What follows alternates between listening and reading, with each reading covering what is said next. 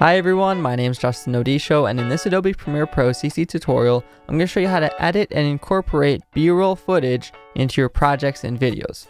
So a cutaway to B-roll is probably one of the most foundational video editing techniques I think in telling a story. B-roll footage is basically just any footage that is not part of the main shot.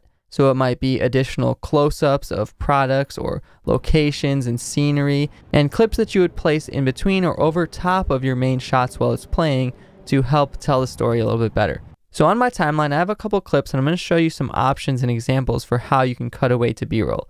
So I've got my main shot of me doing a little tripod review here and this is what you would consider the main shot. It's me talking with the product in my hand and talking about it. But while I'm talking, I'm going to want to incorporate certain close-ups and things that I'm talking about to help the viewer understand better. So here in the project media bin, you see I also have some B-roll footage that I've taken, some close-up shots, some shots of the packaging and of the tripod in action, and it's really simple to incorporate these into our timeline. So method one is you could just take these additional clips and just drag them right over top of your original clip. So if you understand how the tracks work, basically anything that's on top first is going to show through.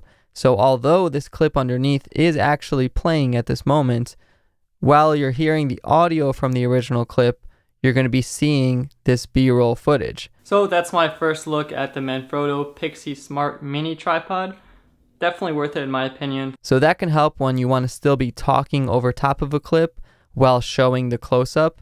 And the second way that you can do this is by clicking and dragging your B-roll on. Of course, you know, these clips are longer than I needed. I took several angles and different approaches but basically cut away the section that you want to use, so however many seconds you want to use, and also consider if you want to keep the original sound from the B-roll, maybe there's just some light birds chirping and it sounds nice, or maybe you want to delete the sound because you want to keep the original audio crisp from the main shot.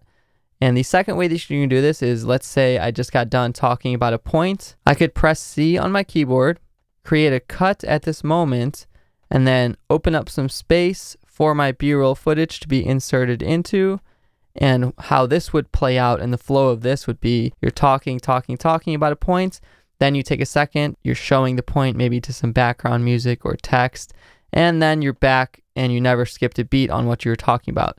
Mini tripod with the phone attachment as well.